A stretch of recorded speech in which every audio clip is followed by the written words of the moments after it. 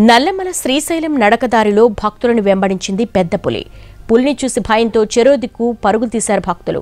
ప్రాణాలు అరచేతులు పట్టుకొని పరుగు లంకించుకున్నారు. అటవీ సిబ్బంది ఆ యువకుల వద్దకు వెళ్ళి వారిని బస్సులో శ్రీశైలంకు పంపడంతో కథ సుఖాంతమైంది.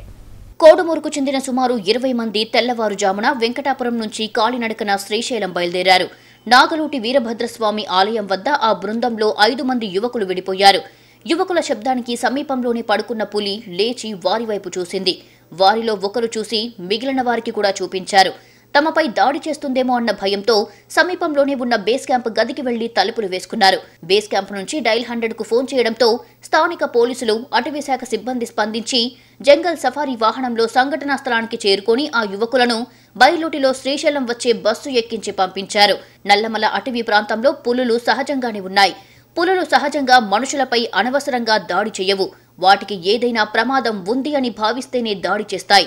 యువకులు చేసిన అలజడికి లేచిన పులి ఒక్క చూపు చూడడంతో భయంతో పరుగులు తీశారు యువకులు.